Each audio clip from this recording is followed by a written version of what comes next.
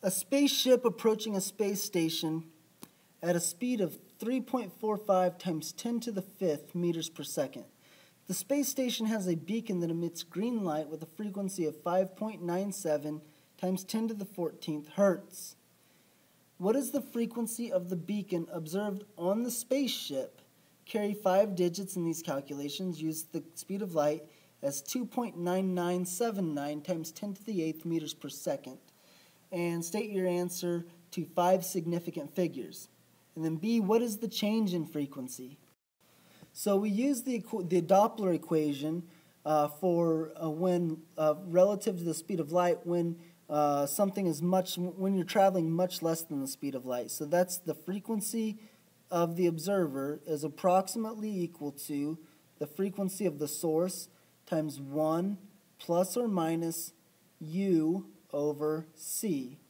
Now, this is, uh, u is the speed of two objects relative to each other. So in the past we would have said uh, the velocity of the, of the source and the velocity of the observer. No, not anymore because light doesn't depend on the medium that it's traveling through. You just say, what is the velocity of the two objects relative to each other? If they're both moving, so if, if two things are moving away from each other, both are moving 10 meters per second, then the relative velocity is 20 meters per second. If they're moving towards each other, um, it, it's still 20 meters per second, but you just change your sign. So a plus if they're moving towards each other, a minus if they're moving away. Okay, so in our case, uh, the frequency observed, F0, is going to be approximately equal to 5.97 times uh, 5.97 times 10 to the 14th times 1 plus u. It's 34,000 or 345,000 meters per second divided by 29979 with four zeros after it, and uh, parentheses closed. And the answer I get, so the frequency was emitted is 5.97. The answer I get is 5.9768700309 times 10 to the 14th. And so that's, that's literally the answer for part A. For part B, it wants to know what was the change of frequency.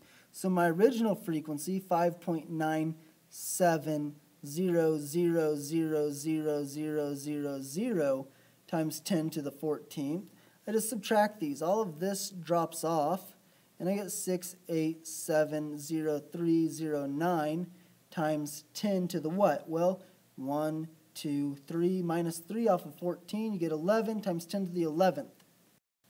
Okay, so symbolically, uh, for those that like the symbolic stuff, the change of frequency is equal to the frequency of the observer minus the frequency of the source. Hey, thanks for watching. Make sure you check out my blog. The link is down in the About section of this video. And on the blog, you'll find cool stuff like other videos for the same chapter. And you'll also find uh, little download links where you can download calculators to uh, basically just punch in your numbers and solve these exact problems. So you won't even have to watch the video if you don't want to. The last thing I want to say is if you leave comments on YouTube, of course I will get around to responding, but I'm much faster if you leave them at the bottom of my blog, right down there. Enjoy your day.